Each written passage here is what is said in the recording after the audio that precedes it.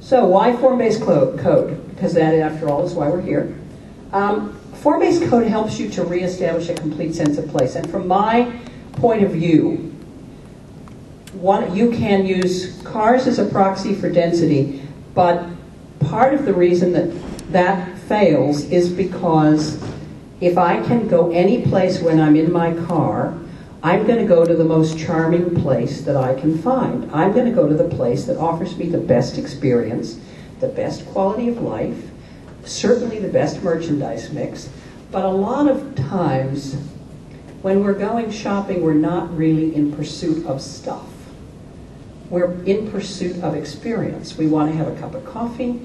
We want to have lunch with a friend. We want to we want to mooch around a bookstore. You know, I don't really need a book when I stop at Joseph Beth.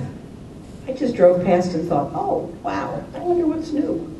Um, so you have to make your place very desirable. You have to make your neighborhoods a pleasant experience. And that form-based code helps you do that. One of the things that I think is most important about form-based code is that it suggests that your building types should be human scale. And I think one of the things that has made our society less gracious and has made people less comfortable is that so much of our architecture now, so many of our places are oversized and isolated.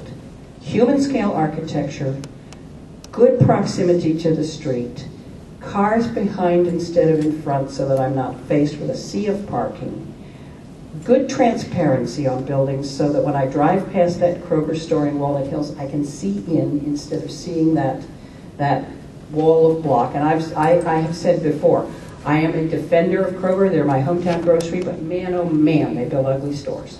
Um, and so all of those are things that, that are within the community's control based on form-based code. On the other form of code, which is called, is it Euclidean, guys? Yes. Thank you. I'm not a planner. Um, on Euclidean on Euclidean codes, only use is defined. This area can have a church and this area can't. This area can have manufacturing and this area can't. What it looks like is beyond your control. And I am all in favor of getting control back into the hands of the communities because guess what? When I go home, you're still going to live there.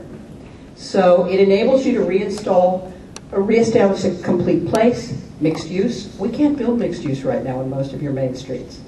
We aren't allowed to put residential over retail. We aren't allowed to put office next to residential. Our, our zoning oftentimes makes that impossible. And yet, for the success of your main streets, for the success of your neighborhoods in many cases, that's exactly what you need. Um, over the Rhine is all about mixed use. And that's part of what gives it so much energy.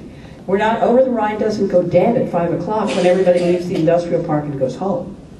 Um, in a neighborhood like over the Rhine, you can drop off your dry cleaning. You can't actually, because I didn't put a dry cleaner in there, but they might have one now.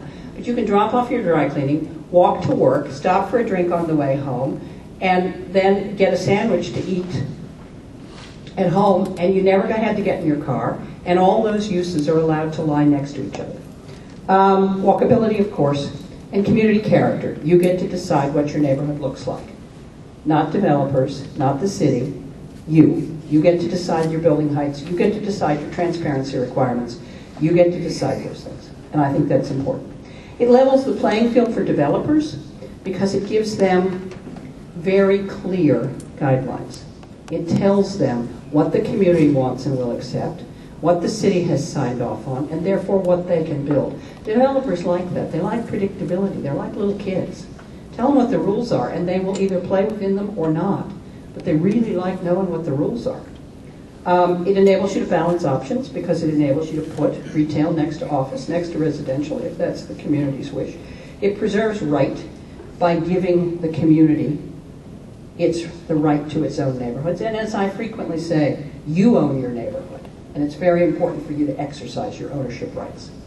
And it it um, and this again, this Ed Starkey said this. It, it uh, it's it's very fine grained in the way that it's applied.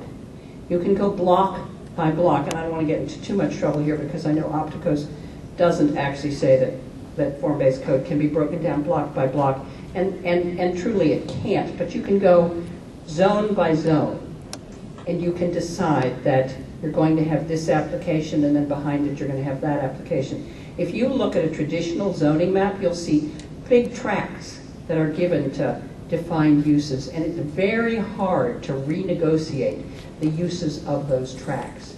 And, and in form-based code, you have much more opportunity to define the character of your neighborhood, and you have many more tools to preserve that character.